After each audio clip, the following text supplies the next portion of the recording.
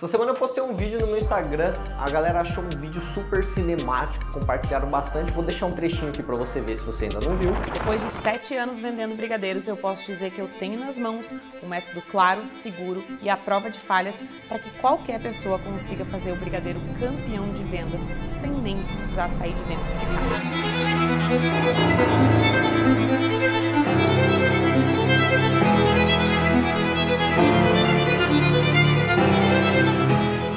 Tempo atrás, a nossa profissão era vista como algo menor, que era só escolhido.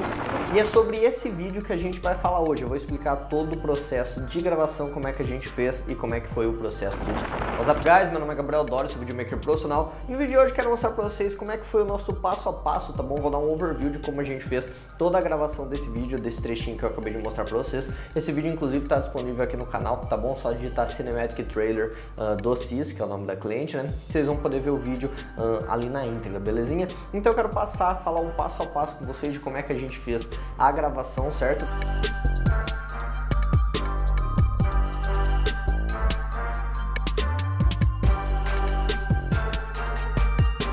Então é o seguinte, antes da gente começar o, o, a gravação daquele vídeo, eu pedi para o cliente me mandar o roteiro, tá bom? Que eu queria ler para já ter as ideias de tudo que a gente ia fazer, certo? De tudo que a gente ia precisar de take, saber os equipamentos, a iluminação que eu ia levar, se ia ser um take mais animado ou se ia ser um, um, um take um pouco mais sério, um vídeo um pouco mais sério. Então eu pedi o roteiro antes para a gente conseguir fazer o alinhamento, certo? Com esse roteiro eu joguei ali no, no meu Evernote e eu comecei a escrever alguns takes que eu achava interessante para ter junto com o roteiro. Por quê? Um vídeo ele é muito chato quando ele fica só a pessoa falando igual eu tô aqui de frente para vocês e fica tipo 5 minutos, 10 minutos só a pessoa aparecendo na tela, fica chato. Então quando a gente tem os famosos B-rolls, que são os takes complementares, esse vídeo ele fica muito mais interessante.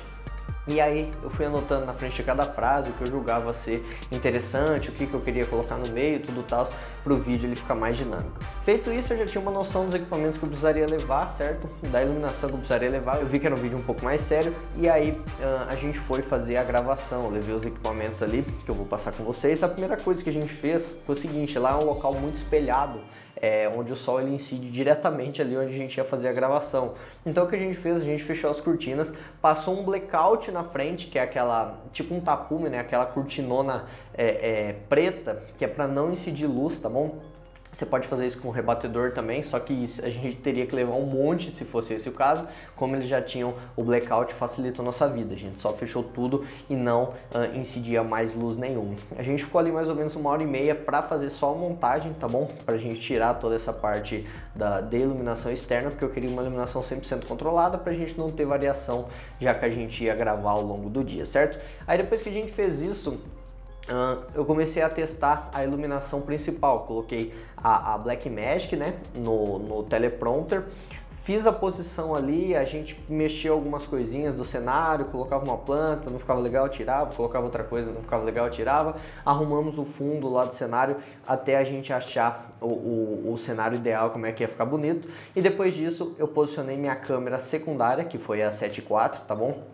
Com uma 85mm. Então a gente gravou na câmera principal, que era Blackmagic, uh, com uma 16mm 1.4, tá bom? A gente gravou com uma, uma lente da Sigma 16mm 1.4 e a Black e a câmera secundária a gente utilizou uma A7 IV com uma lente 85mm 1.8, tá bom? Eu usei filtro ND na, na, na A7 IV na 85mm, por quê? Porque como eu queria um desfoque de fundo bem intenso, se eu deixasse a, a, a lente 1.8, na abertura 1.8, ia estar tá dando muita luz, e eu não queria muita luz, então para eu não ter que fechar a abertura, eu coloquei um filtro ND e deixei a abertura bem aberta, dessa forma eu consegui regular certinho, deixei o ISO baixo e a gente conseguiu uma cena uh, com aquele tom ali que vocês viram. Depois de iluminação, a gente utilizou três pontos de iluminação, tá bom? A gente utilizou uma key light, que é essa iluminação onde vocês me veem aqui, certo? Onde a gente preenche uma parte do rosto e deixa outra parte do rosto uh, desfocada. E aí, qual que é a sacada para você fazer key light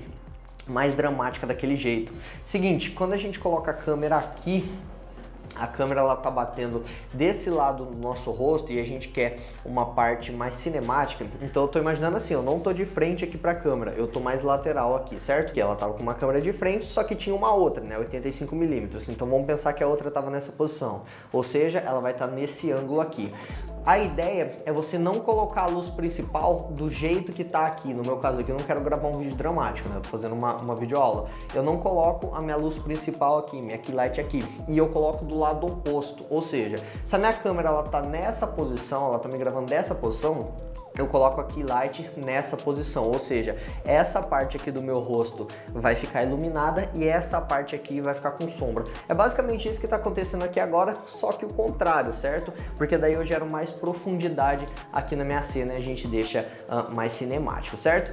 É, esse foi o nosso primeiro ponto de luz, que eu utilizei uma key light uh, a 45 graus contra a, a, a minha câmera principal. Então a câmera principal estava aqui, a secundária a 45 graus da câmera principal e a minha key light a 45 graus contrário da minha câmera uh, principal, certo? Pra gente ficar com essa diferença aqui entre a câmera secundária e a minha key light, certo? Deu pra entender, né? Segundo ponto de luz, eu utilizei uma luz de recorte que é exatamente essa luz que está me iluminando aqui agora, vocês podem ver que ela está dando um recorte aqui, ela está iluminando a minha cadeira e ela faz uma diferença bem grande, vou desligar para vocês verem, ó, se eu desligar, Olha como é que fica sem profundidade, eu fico meio que colado com o fundo, tá bom? Então é interessante a gente ter essa luz de recorte aqui. Quando eu ligo ela, ela dá esse... Ela realmente recorta o nosso objeto do fundo da cena e isso é bem importante. Eu utilizei um branco quente, tá bom? Eu esqueci de mencionar na minha, na minha luz principal aqui, Light, eu usei 5500 Kelvin, que foi aquele branco frio e na minha luz de recorte, na minha hairlight, eu utilizei 3200 Kelvin para deixar esse branquete igual vocês estão vendo aqui, certo? Que por quê? Um, ele dá esse, tá vendo aqui, ó, que fica um tom mais dourado na minha pele? Ele dá esse daqui e ele me recorta no fundo, eu não fico muito uh, uh, como se eu tivesse colado no fundo, ele dá esse recorte. E aí onde é que fica essa posição?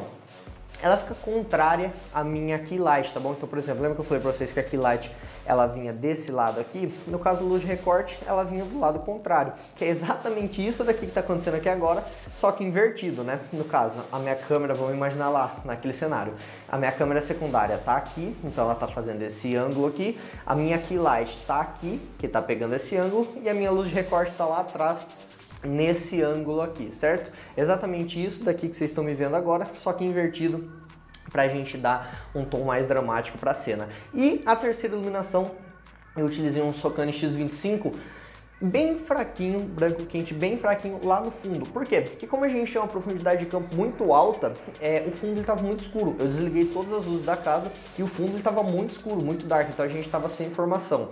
Eu liguei o branco quente lá no fundo só para a gente conseguir enxergar sombras. O objetivo ainda assim era ficar escuro, só que que a gente conseguisse enxergar, enxergar o cenário como completo. Lembre-se que quando você vai gravar, fazer alguma coisa low light, é low light e não no light, tá bom? Sempre precisa ter iluminação em tudo, por mais que ela seja mais fraquinha, é necessário ter iluminação. E aí eu coloquei um LEDzinho só como Practical Light mesmo, nem um Practical Light na verdade, né, porque ele estava escondido, mas eu coloquei um LEDzinho atrás dela que ele dá, uh, uh, fazia tipo uma auréola assim em volta dela, ficava bem bonito, tá bom? Isso daí uh, todo contextualizado com o cenário dela que tinha referência com, com cozinha, tá? Ela fala sobre brigadeiro, então o cenário a gente gravou ali na cozinha. Aí a gente usou o teleprompter, né, para ela falar, para ela ler todo o roteiro ali, colocamos uma lapelinha, não tinha problema nenhum colocar o lapela naquele estilo, e a gente pediu para ela falar bem pausado, porque como ia ser ser um vídeo mais dramático, a gente pediu para ela fazer um pouco mais pausado, falando mais lento, que dava um pouco mais de ênfase. Ela é bem enérgica quando ela vai gravar, então a gente pediu para ela fazer um pouco mais pausado. E outro detalhe com relação à roupa, é, ela ia colocar um tipo de roupa, a gente pediu para ela trocar, que ela usa roupa bastante colorida a gente pediu para usar tons mais neutros. Então, no caso ali, um branco, um preto e esse azul que vocês vão ver uh, ali da roupa dela, tá? Que a gente pediu para ser tons mais neutros para não ficar muito gritante, porque um, a gente quer fazer uma coisa dramática, cinemática. Se a gente usar, por exemplo, um rosa, um verde muito chamativo, a gente quebra um pouco desse, desse estilo, tá bom? Então, basicamente, a composição para a gente fazer a gravação foi essa. E aí na edição, quero que vocês vejam aqui comigo agora, ó, essa daqui foi minha timeline, eu editei em DaVinci Resolve, poderia ter sido no, no Premiere também, não tem problema algum, tá bom? O, o programa não vai fazer diferença, a única coisa que faria diferença gigante aqui é com relação ao Color Grading, tá bom? O Color Grading eu recomendo mesmo que se você quer fazer algo mais profissional, que seja aqui no DaVinci Resolve. Então vamos lá. Eu vou passar aqui com vocês pela minha timeline, tá bom? Então é o seguinte, aqui a gente utilizou um texto com o nome dela, na hora que ela fala, meu nome é onde, onde ela começa a falar, ela nem se apresenta na verdade, né? Só que a gente colocou aqui, ó. Detalhe, sem uh, nada muito chamativo, a gente utilizou aqui o, a Montserrat, tá bom? Que é uma fonte mais neutra. A gente utilizou a, a, a regular, que é para ela não, não ficar muito grossona, muito bold, a gente dá mais essa sensação cinemática. E o efeito é o efeito de desfoque, ó. Ele desfoca e aí ele desfoca e some. Aí a gente utilizou duas câmeras, né? A principal e a secundária, igual eu falei para vocês aqui. Continuando aqui, a gente utilizou alguns B-rolls, tá bom? Para fazer esses B-rolls aqui, eu utilizei o Autodolly, vou estar tá deixando um card aqui, inclusive, na tela, de um lado aqui ou aqui, não sei, uh, onde vocês vão poder ver qual é o funcionamento de, de quando eu quero gravar com o Autodolly, né? É no vídeo onde eu gravo meus Reels, meus B-rolls, para vocês entenderem como é que ele funciona esse carrinho, que é para ele dar esse dinamismo aqui pro nosso take, belezinha? Então vamos lá. Aí aqui ela falando, né, a gente fazendo a inversão de cenas. Aqui a gente tem uh, um take aqui, que é de um depoimento, não estou mais com esse depoimento aqui no meu computador, mas enfim, não faz diferença. E aí o restante continua sendo uh, a montagem, né? Ela falando, a gente utilizando B-rolls enquanto ela está explicando sobre alguma coisa. Os textos a gente focou em utilizar bastante nesse estilo que eu mostrei para você, né, que é sem chamar muita atenção, mas uh, desfocando, foca e some Aqui na frente ela vai falar no mesmo estilo, aí eu quis utilizar um glitch aqui mais pesado, que é onde ela tá batendo bastante nas três coisas que, que uma confeiteira precisa ter, que as confeiteiras já têm no caso ali, né, que ela fala. Enfim, eu quis deixar ele um pouquinho mais grosso para chamar mais atenção, já com a câmera secundária, certo? Para ela ficar assim, ó, dividido, metade o rosto dela e metade aqui o, o lettering, tá? Aí continua aqui e é, algumas vezes eu faço uma quebra de padrão para não mostrar, não ficar só ela falando, às vezes eu faço uma quebra de padrão, colocando efeito sonoro, mudando a música, aumentando, e aí mostra algumas cenas e depois volta para ela falando, certo? Que fica uh, mais interessante, mais chamativo do que só fala, fala, fala, fala o tempo todo, belezinha? A gente prossegue aqui, basicamente a montagem é essa daqui até o final, utilizando B-rolls, Uh, pouco, pouco efeito, né? Muito chamativo, para não ficar nada muito uh, estilo carnaval. Aqui coloquei o B-roll, fiz essa imagem aqui no Photoshop para juntar as duas na foto, que ela falando do antes e depois. Mas basicamente uh, é isso daqui. Com relação à música, eu utilizei músicas épicas de violino, tá? Porque tem bastante contexto com aquilo que a gente tá falando. A gente queria fazer um vídeo mais cinemático, não tem sentido colocar aquelas músicas ambientes e tal. Eu queria colocar uma coisa mais impactante. Aqui eu utilizei três músicas diferentes, tá bom? De acordo com o ritmo que ela ia falando. Começa uma música um pouco uh, mais lenta, a gente vai acelerando conforme o contexto que ela vai falando ali, para deixar uma música bem épica no final, pra a música realmente terminar em alta, a pessoa, tipo, terminar em êxtase ali, poxa, eu quero fazer minha inscrição, não sei o que tal para ficar mais chamativo. E aí eu quero mostrar um pouquinho do Color Grading aqui para vocês. Uh, vamos jogar aqui na aba de cores. E aí aqui eu fiz uma aba Uh, deixa eu desativar o efeito para mostrar os nós aqui para vocês do que uh, eu utilizei. Aí detalhe, vocês estão vendo aqui que tem essa tarde aqui em cima e embaixo, foi proposital, que eu quis colocar aquele estilo uh, cinema, tá bom? Se eu não me engano foi 1.33, alguma coisa assim, não me lembro. Mas enfim, vamos lá, voltando aqui para as cores, tá? Deixa eu desativar os clips para vocês enxergarem. Eu edito com dois monitores, tá bom? Então eu deixo uma timeline gigante aqui no meu outro monitor e aqui no, no, no meu Mac só preview. Só que como a gente está gravando essa aula aqui, eu quero mostrar para vocês, então vou utilizar aqui no Mac. Então vamos lá, a minha, minha árvore de nós foi o seguinte, eu utilizei primeiro de tudo Noise Reduction, tá bom? Que eu gosto, eu deixo ele ativado aqui, só que é a última coisa que eu mexo, onde eu consigo tirar uh, o ruído dela. Isso daqui que tá aqui não é ruído, tá? É grão, vou mostrar pra vocês aqui, ó. Isso daqui é grão, tá? E aí eu coloco o Noise Reduction para ele compensar. Se eu desativar, ó, ele fica com um pouquinho de ruído, não sei se vocês conseguem ver.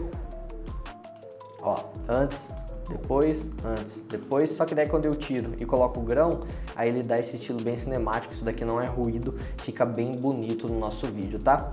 Aqui no neon eu coloquei, é, só para ele matar um pouco dessas cores muito acesas, desses pixels muito acesos, tá vendo? Ele é um LUT na verdade, né? Você vem aqui LUT e Neon Suppression, belezinha? HDR, isso daqui eu aprendi no curso do, do, do Marcelo Santana, certo? Da 20 Result Tutoriais, bem legal, me ajudou bastante. Uh, então vamos lá, eu fiz meu IDT, basicamente vou resumir, tá? Aí eu fiz toda a minha configuração aqui no HDR, tirei as altas luzes, mexi com o contraste na verdade, né? Deixei o jeito que eu queria, mais cinemático primeiro. E aí aqui no HDR matei as altas luzes, deixei a pele bem equilibrada aqui e aí eu comecei a fazer o tratamento das minhas primárias, tá bom? Deixar tudo equilibrado aqui, a gente vê no nosso parade, tá bom? Quis deixar tudo mais equilibrado aqui. O vermelho ele se destaca um pouquinho mais aqui no nosso parade, porque a maior parte da nossa cena aqui, por exemplo, nessa câmera 2 que eu estou te mostrando, ele é uh, parte da pele, então consequentemente vai estar tá um pouco mais vermelho. Uh, mexer o contraste já mostrei, aqui na HSL foi para mexer a saturação, a imagem estava bem saturada, né? Vou até tirar os ó, ó ela estava bem saturada e aí eu joguei aqui o HSL para fazer a correção de saturação. Depois disso eu fiz o meu visual utilizando aqui. Gente, é detalhe, eu não vou passar o passo a passo de como é que eu crio esse Color Grade, tá bom? Se você quiser aprender um pouquinho mais sobre Color Grade, recomendo que você conheça o Cinema Class, minha escola de produção de vídeos, onde lá tem uma Masterclass onde eu mostro só como fazer Color Grade aqui no DaVinci Resolve, tá bom? Voltando. Uh, fiz aqui o meu visual para deixar as cores, uh, o, o deixar as sombras mais escuras e eu joguei um tomzinho de azul aqui, ó, como vocês veem, fica bem mais bonito do que deixar só como se fosse um, o REC 709. Aqui no ajuste e no processo eu não utilizei nada. Glow, eu acho que também não utilizei nada, eu, eu, eu, eu utilizei mais o estilo da árvore do, do Marcelo, igual eu falei pra vocês, né? E o grão, eu coloquei aquele grão que fica bem bonito, ó, dá uma, um pouquinho mais de profundidade aqui na nossa pele, ficou bem legal. Belezinha? Uh, fiz esse mesmo... Ah, detalhe, né? A nível de timeline que eu fiz a nossa ODT, eu fiz pro, pro estilo do, do, da Kodak 2383, tá bom? Vou mostrar aqui, ó. Então, o que, que eu fiz aqui? Eu peguei... Primeiro, eu converti o nosso... Vou mostrar aqui pra vocês no IDT, né? eu converti para esse CCT e depois aqui no ADT eu tirei de CCT e coloquei em Cineon Film Log, que é para eu ter uh, poder utilizar esse loot aqui do Kodak 2383, belezinha? E aí eu utilizei esse último uh, node aqui só para conseguir controlar o sinal quase que não está fazendo diferença alguma aqui, tá bom? É só para conseguir controlar o sinal para que ele não estourasse lá em cima, que nem foi necessário, tanto que nem está fazendo tanta diferença aqui, belezinha? Mas era só por garantia, certo? E aí a gente tem esse resultado aqui, ó, do antes, que foi gravado desse jeito, e o depois. E aí eu fiz a mesma coisa com a câmera principal, certo? E eu só fiz a mudança do, do do HDR aqui do IDT para ficar certinho e ficar as duas com a mesma tonalidade, certo? Bom pessoal, então foi esse estilo que eu fiz aqui toda a, a, a produção desse clipe, ficou bem bonito, tá bom? Se você não conferiu, vou estar tá deixando o link aqui na descrição, vou estar tá deixando aqui no card uh, também para você assistir o clipe completo, tá bom? Ficou bem legal, se quiser ir lá comentar, me dá uma moral, o cliente ficou bem satisfeita e eu queria trazer aqui para vocês, porque teve bastante gente que curtiu uh, e compartilhou quando eu postei lá no Instagram, belezinha? Bom, espero que vocês tenham gostado, vou estar tá deixando mais dois vídeos aqui na tela. Se curtiu, curtiu, deixa o seu like, se inscreve aqui no canal para acompanhar mais conteúdo como esse e a gente se vê no meu próximo vídeo. Tchau, tchau!